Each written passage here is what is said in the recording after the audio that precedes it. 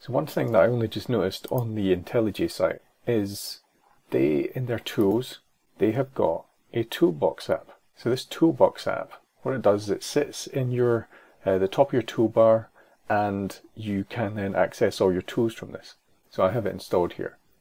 I click on that and I can see all the recent projects that I've been working on and the part of IntelliJ that they're associated with. That's really useful. So I'm using PHP Storm and I'm using IntelliJ. I can open these from here.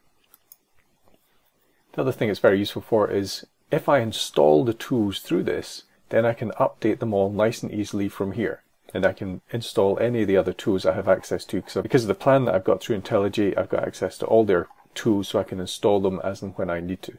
But if you actually install the tool through Toolbox, then it gives you a nice easy way to update it and that's very useful. So I, am quite enjoying this. Um, I've installed it on Mac and Windows to help me manage the projects that I use regularly and because I hadn't noticed it I'm just going to bring that to your attention. Head off to IntelliJ and look for their Toolbox app, install that, just makes your project management a little bit easier.